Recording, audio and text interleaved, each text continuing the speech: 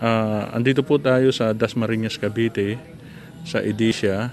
Ah, papakita ko po sa inyo yung complete turnover ng area model. Kanina, meron po silang semi-complete. Yung semi-complete, walang partition, walang tiles. Ito naman po, may tiles na, may partition na. At check po natin sa loob. Same pa rin po yung kan. Same, same pa rin yung lot area niya. Ang lot area niya po is ah, 40 42 yung floor area at yung lot area po niya yan po 42 yung floor area yung lot area niya is 60 square meter. Yan po hanggang dyan po sa dulo. Yan may parking na po kayo dyan. Ito po end unit po ito.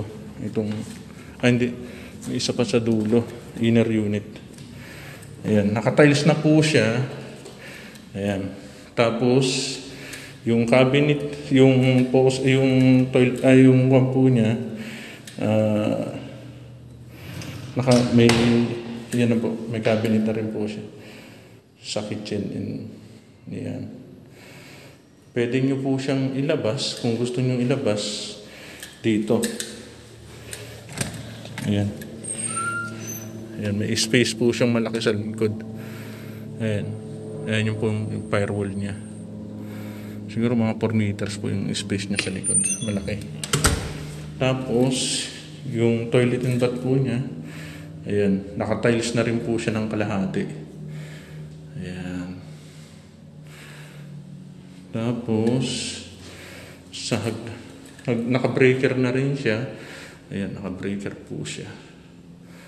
Tapos dito po sa hagdanan niya, ayan, sabi ni ate, may chinelas daw sa labas. Wala naman. Yan. Makikita po natin. Okay. Ito po yung ginawa lang po nila is two, bed, two bedroom. Yan. Ito. Ito yung isa. Naka-tiles din po dito sa taas. Tapos, naka-partition na siya. Ayan. Tapos, dito po, ayan, malaki po yung master bedroom. Ayan.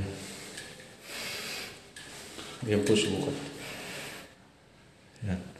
Nakapaint na siya. Dadalhan nyo na lang po siya ng gamit. Ayan.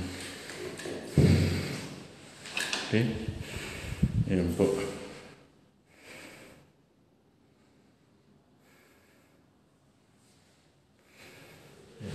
May saksakan ng rin siya para sa aircon. Tapos sa baba, ayan, may saksakan din sa baba. Yung bintana naman niya is, okay. Ito po yung uh, area na matatagpuan sa Dasmariñas, Cavite. Ito po. Yan. Okay.